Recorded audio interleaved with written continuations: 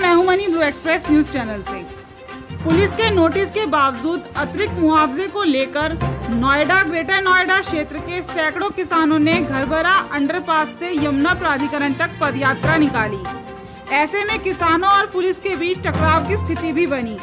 High court द्वारा चौसठ दशमलव सात प्रतिशत अतिरिक्त मुआवजे को रद्द करने के विरोध में क्षेत्र के करीब 18 गाँव के किसान कई महीनों से संघर्ष कर रहे थे।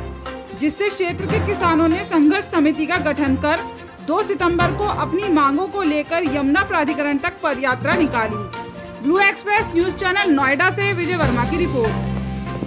संरक्षक हमारे आगे बढ़े और मेरी पुलिस प्रशासन से हाथ जोड़ के रिक्वेस्ट है कि वो हमारे मान जुलूस में न डाले मेरी हाथ जोड़ के रिक्वेस्ट है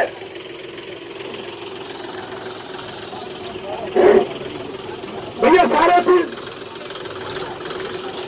भैया पुलिस प्रशासन से भी तीन लोग बात करेंगे वो ही तीन लोग बात करेंगे बाकी कोई नहीं करेगा तब आवाज़ नहीं